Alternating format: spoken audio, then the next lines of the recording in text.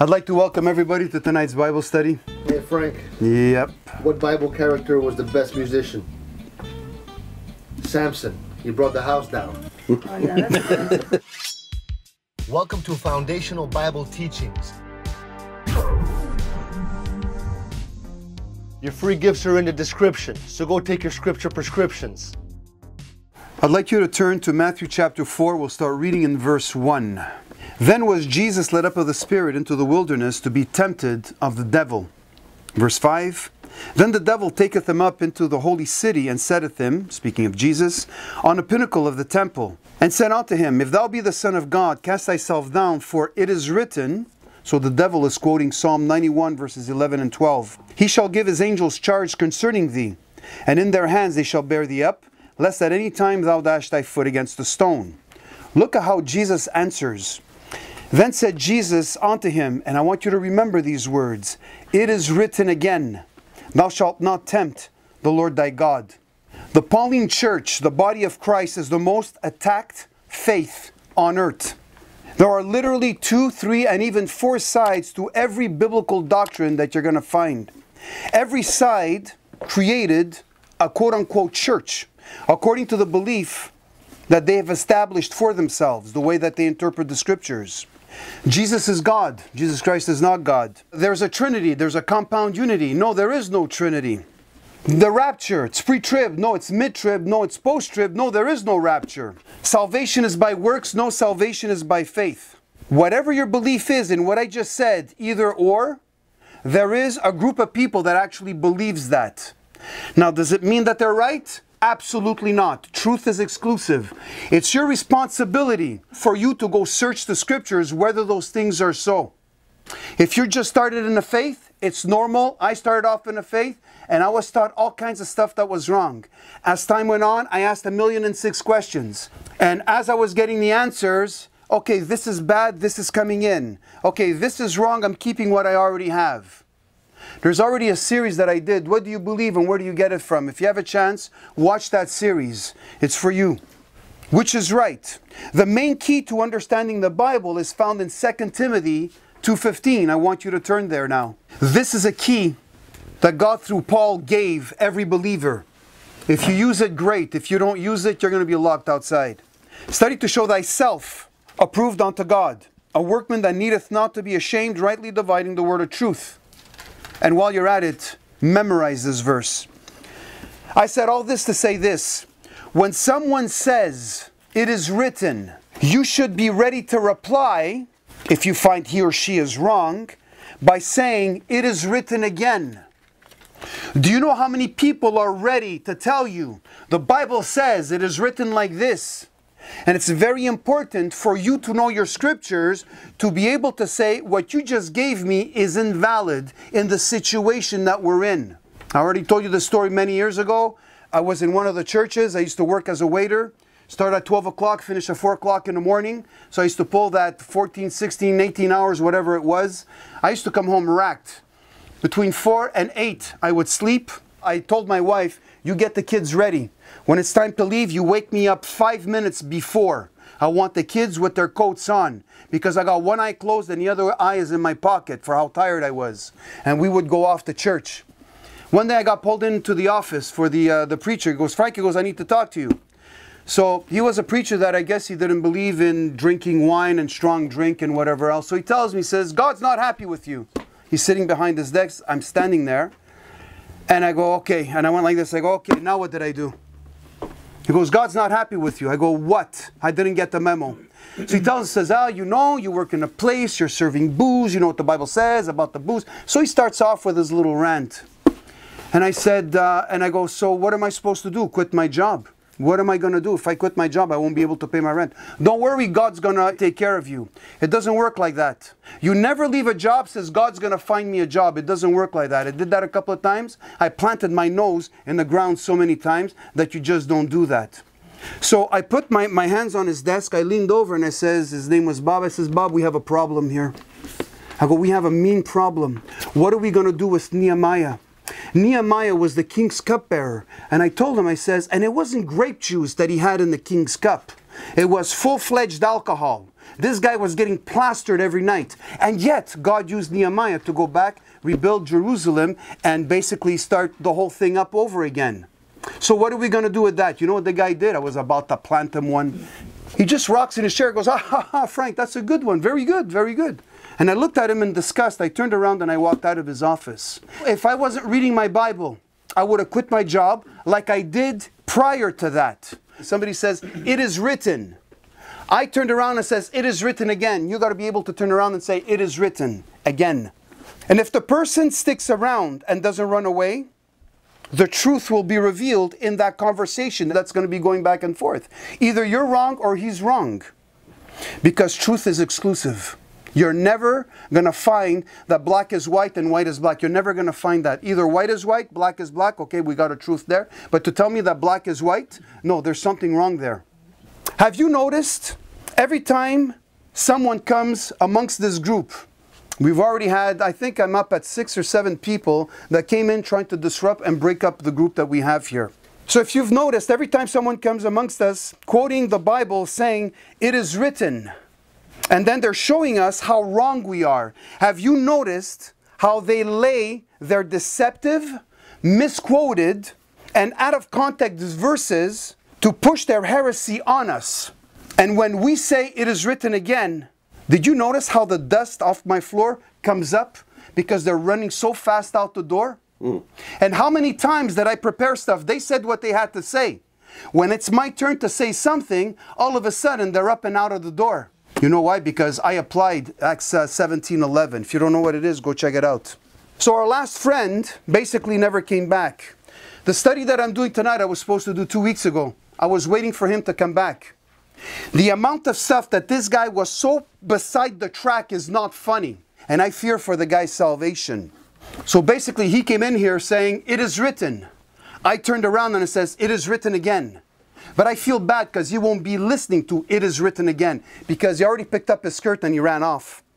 One main point I got from the letter we all received is that he disagrees with me with the mode of salvation that I preach and teach. Thus, indirectly, he was accusing me of heresy. And this is what he had said a couple of weeks prior before he gave us the letter. Now, I say this on the fact that this paper mainly focuses on this. And since you all received his interpretation of the Bible, along with his contact information, if you remember, he gave you his phone number, his address, his email, and everything else, how to contact him, that he's inviting you to reach out to him for proper biblical teaching. That's what that meant. I call that an act of war. The whole of this letter we here are all in danger of eternal damnation because we do not keep the Ten Commandments.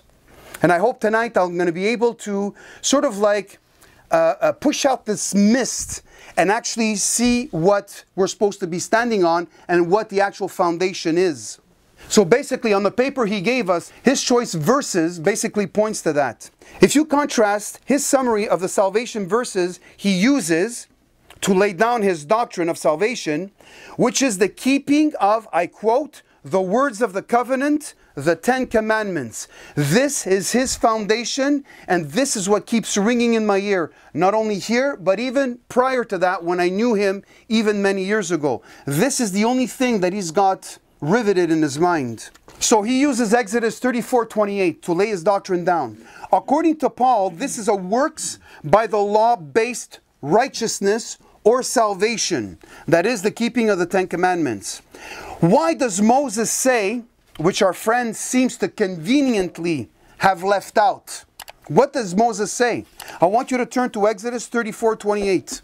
And he was there with the Lord 40 days and 40 nights. He did neither eat bread nor drink water, and he wrote upon the tables the words of the covenant, the Ten Commandments. So, so this is his main premise that he's coming from.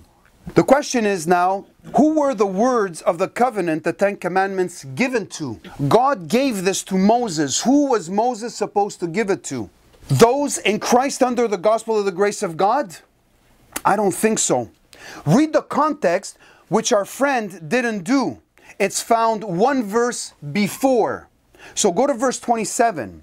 And the Lord said unto Moses, Write thou these words, for after the tenor of these words I have made a covenant with thee, speaking of Moses, and with Israel. Not with those that are in Christ, not with those that are in the Pauline church. Do you see that? So he took a verse and right away he takes it out of context. The verse before actually gives you what the context is. So this verse refers to Moses receiving the Ten Commandments, which is foundational to the covenant with Israel and not the Pauline church. What does Paul have to say now? I want you to turn to Romans 3:20. Therefore by the deeds of the law there shall no flesh be justified in his sight, for by the law is the knowledge of sin. So Paul emphasizes here that justification cannot come through the law.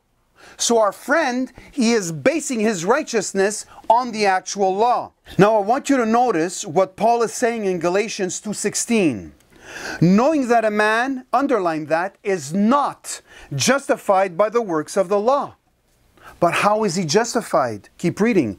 But by the faith of Jesus Christ, even we have believed in Jesus Christ, that we might be justified by the faith of Christ and not by the works of the law. I think it's pretty clear. For by the works of the law there shall no flesh be justified, including our friend. So this verse directly addresses the issue of righteousness through works versus faith. So he is, you have to keep the Ten Commandments. And Paul says, no, you don't have to. Why? Because Christ is the end of righteousness. I want you to turn to Galatians 3.10 now. Watch what Paul says to the Galatians. For as many as are of the works of the law are under the curse. For it is written, Cursed is everyone that continueth not in all things which are written in the book of the law to do them. Our friend is only keeping the Ten Commandments. Did you know that he's got another 603 commandments, technically, that he should be keeping? But he's not doing that. Concerning Galatians 3:10 now, here Paul points out the limitations and the consequences of relying on the law for righteousness. So while Paul does not directly quote Exodus 34:28, he clearly articulates that salvation is not based on the works of the law. He makes sure that he says it, such as keeping the 10 commandments. Instead, Paul argues for justification through faith in Christ. The verses from Romans and Galatians provide a clear contrast to the concept of a works based righteousness. Now, how else does Paul contrast Moses' righteousness versus God's righteousness? In the next verse, in Romans 10:3, Paul delineates Moses' law, which creates a personal righteousness, versus the righteousness God gives as a free gift. You know the books that are going to be opened, and another book, which is the book of life at the great white throne judgment? Okay. All of the good things you've done, all the bad things you've done, everything is going to be written in those books that are going to be opened. That's the personal righteousness that you're creating under the Mosaic law. But the righteousness which God gives is a free gift. So Romans 10:3 now. For they, speaking of Israel, you'll see this in verse 1, being ignorant of God's righteousness. Do you see the differentiation here? For they, Israel, being ignorant of God's righteousness and going about to establish their own righteousness. Where are they getting it from? They're getting it from the Mosaic law. Have not submitted themselves unto the righteousness of God. Where does this righteousness come from? It's Jesus Christ, the finished work that He did on the cross. Question What is the righteousness of God? It's belief in Jesus Christ. Faith and not by works. Yep. Verse 4 For Christ is the end of the law for righteousness. Underline that. For Christ is the end of the law for righteousness. We're talking about the Mosaic law. To everyone that believeth. If you believe in the Lord Jesus Christ, He just finished the law for you. This is what was completed, that Jesus Christ completed in the Old Testament. Verse 5 For Moses describeth the righteousness which is of the law. So Moses is giving you the righteous. There is a righteousness in the law, but we are not under that economy. We're not under that administration, or I'm going to use the dirty word dispensation. Okay? We are not under that time period. That the man which doeth those things shall live by them. Question What is the righteousness of God? The righteousness of God is a free gift that many, especially many in Christianity, are oblivious to. They do not know that it's even a gift. This is what hurts my heart. The guy sitting in the pew, you want to study, you want to read. And the guy that's up there at the pulpit, behind the pulpit, my friend, you're going to be getting it bad. Now, if you don't believe me, I want you to ask people when you're talking to them, ask them, what do you need to do to enter into heaven? 99% will tell you that you have to be good and that you have to follow God's commandment in one way, shape, or form. Basically, to get into heaven. So, these so called quote unquote Christians should be called people because people are oblivious to what God actually said through Paul. I want you to go to Romans chapter 5 and verse 15 now. But not as the offense, so also is the free gift. Underline that. 1. For if through the offense of one many be dead, much more the grace of God, the gift, number 2, by grace, which is by one man, Jesus Christ, hath abounded unto many. And not as it was by one that sinned, so is the gift. Underline that. So we're up at three now. The gift is mentioned three times. For the judgment was by one to condemnation, but the free gift, we're up at four, is of many offenses unto justification. For if by one man's offense death reigned by one, much more they which receive abundance of grace and of, look at this, number five, the gift of righteousness shall reign in life by one Jesus Christ. Therefore, as by the offense of one, judgment came upon all men to condemnation, even so by the righteousness of one, read it again, underline it six times, the free gift came upon all men unto justification of life. So one was Adam, one was Christ. Exactly. But did you notice the free gift? For by grace are you saved through faith and not, not of yourselves. It is the gift of God. For the wages of sin is death, but the gift of God is eternal life through Jesus Christ our Lord. Do you have to go to church? Absolutely not. Church is supposed to be there for the edification of you. That's part of the body of Christ. Not a particular name stamped on your head. I'm a Roman Catholic. I'm a Pentecostal. I'm an Episcopalian. I'm a, Pre- a Presbyterian. I'm an Anglican. I'm a idiot. Yes. Okay. You got all kinds of people out there. The God's not looking for that. God's looking at what you got in your heart. I got another question for you. What does the gift of righteousness mean? The work has already been done. Read my lips. The gift of righteousness means the work has already been done by Jesus Christ on the cross. What does that mean? When Jesus Christ was on that cross, you picture yourself on that cross. And he says, You know what? Come down, I will take your place. That's what it means.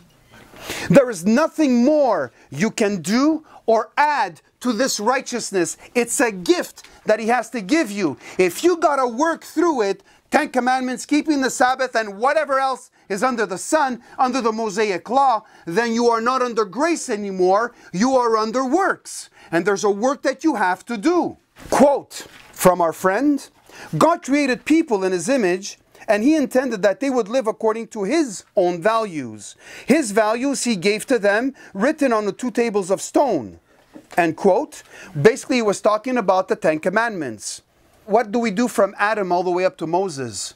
They didn't have those stones written with the finger of God and whatever commandments were on there. What do we do with 2,500 years worth of humanity that never heard those words? So this guy's out to lunch.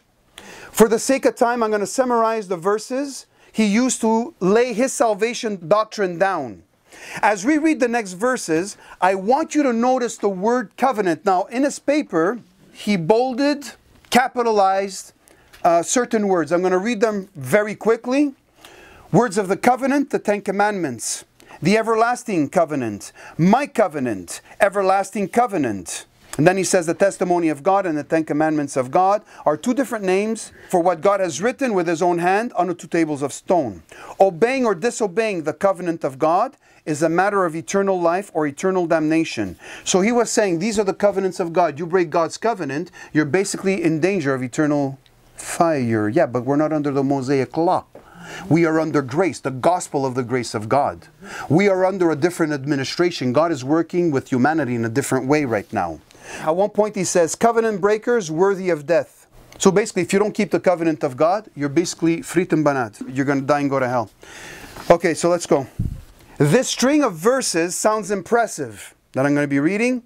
And to make his point of keeping the Ten Commandments for salvation, especially the Sabbath. But when you take a closer look, all of these verses have been taken out of their context. God was explaining something, the guy heard something else. So he takes it out of context and he puts everything together to prove a point that doesn't exist, thus creating a heresy. So he said, It is written. So what I'm going to do is I'm going to read a few of his verses and then I'm going to start showing you where this guy just went off the rails. Exodus 34 28. And he was there with the Lord 40 days and 40 nights. He did neither eat bread nor drink water. And he wrote upon the tables the words of the covenant, the Ten Commandments, and he highlights this and he puts it everything in capital letters. And it came to pass when Moses came down from the Mount Sinai with the two tables of testimony, this is capitalized, in Moses' hand, when he came down from the mount, that Moses with not that the skin of his face shone while he talked with him. Here's another verse that he took out of context Isaiah 24 and verse 5. The earth also is defiled under the inhabitants thereof, because they have transgressed the laws, changed the ordinance, and broken the everlasting covenant. Again, he put this in capital letters. Psalm 89. 28 now. My mercy will I keep for him forevermore. And my covenant, again he capitalizes it, shall stand fast with him. Then he went to Hebrews 13:20. Now the God of peace that brought again from the dead our Lord Jesus, that great shepherd of the sheep, through the blood of the everlasting covenant. So now I'm quoting from him. The testimony of God and the Ten Commandments of God are two different names for what God has written with his own hand on the two tables of stone. Obeying or disobeying this covenant of God is a matter of eternal life, eternal damnation. End quote. These covenants are different covenants ascribed to different people in different situations. This covenant, to our friend, not to name him, according to him, is the Ten Commandments. Every time you see the word covenant, it doesn't mean the Ten Commandments. People see the word church and they go berserk. Did you know that there was a church in the Old Testament? That was Israel. Did you know that there's a church called the body of Christ? Did you know that there's a church in Revelation? These are the body of believers, these are the tribulation saints. The word church just means a gathering of people, a called out assembly. That's all it means. And all of a sudden, people see that one word. No, no, this word means this in every context. It doesn't mean that. Read the context. So now it's my turn. So he says, It is written. I just gave you the verses. It's my turn. So it is written again. Number one, the context of Exodus chapter 34, verse 28 and 29 is given to Israel and their proselytes. Proselyte is somebody who converts to Judaism, not the Pauline church. If it was given to the Pauline church, show me clearly where it actually is. And we saw the context in verse 27. Don't go there. And the Lord said unto Moses, Write thou these words, for after the tenor of these words have I made my covenant with thee and with Israel. He didn't make it with the church. Number two, he took Psalm 89 28 out of context. He made it say something that it wasn't saying. The covenant was a promise of God made with King David, not man. Our friend took it to mean that it was a covenant for him and to all those that would keep it. He just perverted the scriptures. Turn to Psalm 89, verse 3 and 4. I have made a covenant with my chosen. I have sworn unto David, my servant. God chose David. He says, I made a covenant with my chosen, and he tells you who the chosen is. It's David, not our friend or the people that believe in it. Verse 4 Thy, speaking of David's seed, will I establish forever and build up thy throne to all generations. Selah. Jump down to verse 20 now. I have found David my servant, with my holy oil have I anointed him. Verse 21 With whom my hand shall be established, mine arm shall strengthen him. Speaking of David, again in verse 20. Jump down to verse 24 now. But my faithfulness and my mercy shall be with him, again speaking of David, and in my name shall his horn be exalted. Jump down to verse 28 now.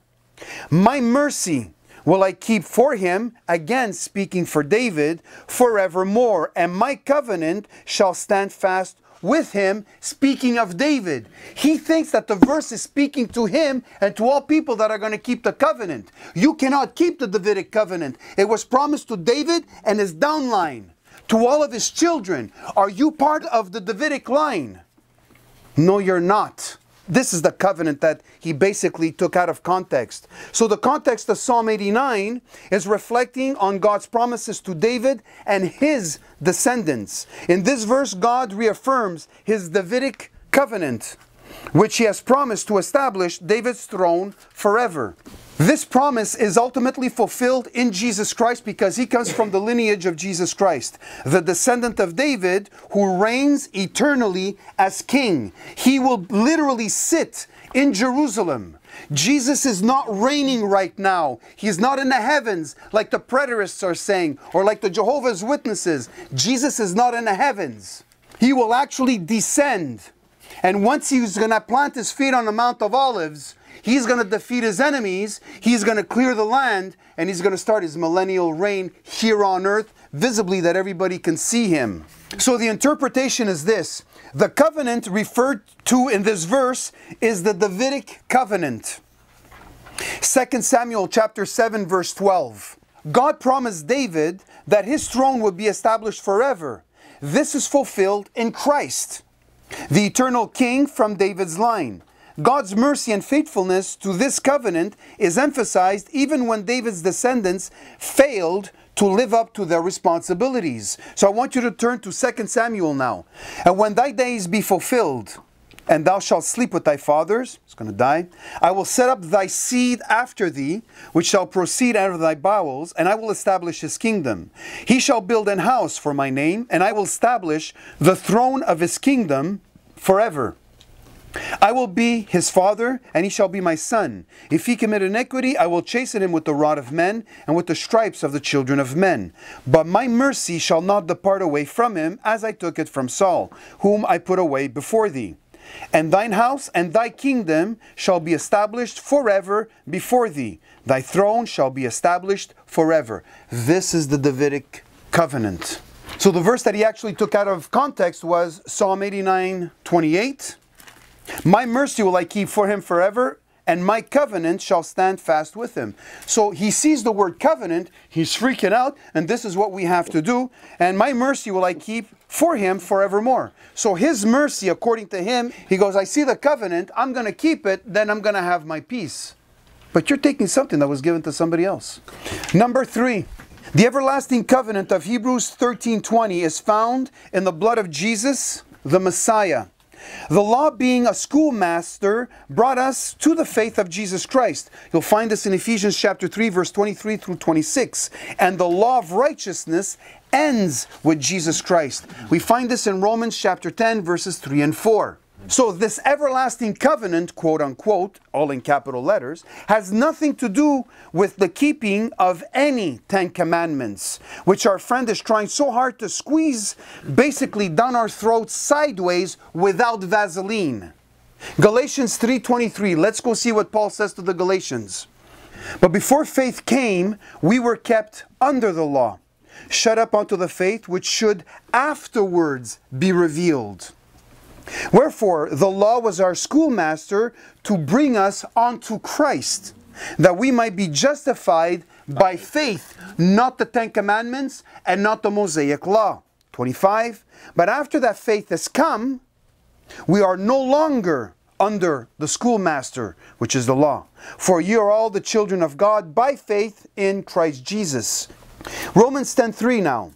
For they, speaking of Israel, being ignorant of God's righteousness and going about to establish their own righteousness, have not submitted themselves unto the righteousness of God.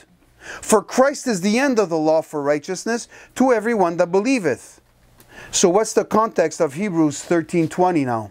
It points directly to the new covenant established through the blood of Jesus Christ. This covenant is everlasting because it is the ultimate fulfillment of God's redemptive plan for humanity. It was prophesied in the Old Testament in Jeremiah 31 and fulfilled in Christ's death and resurrection. Jeremiah 31 31 Behold, the days come, future tense, saith the Lord, that I will make a new covenant with the house of Israel and with the house of Judah not according to the covenant that I made with their fathers in the day that I took them by the hand to bring them out of the land of Egypt, which my covenant they break. Although I was an husband to them, saith the Lord, but this shall be the covenant that I will make with the house of Israel after those days, saith the Lord. I will put my law in their inward parts and write in their hearts, and will be their God, and they shall be my people. And they shall teach no more every man his neighbor, and every man his brother, saying, Know the Lord, for they shall know me from the least of them unto the greatest of them, saith the Lord. For I will forgive their iniquity, and I will remember their sin no more. The everlasting covenant of Hebrews 13:20 refers to the new covenant established through the sacrificial death and resurrection of the Lord Jesus Christ. Now this covenant provides eternal redemption and salvation to all who believe. It contrasts the old covenant, the Mosaic law, which was temporary and could not provide eternal salvation. Do you know what's going to give you eternal salvation? I want you to watch this three minute video. It's for your own good.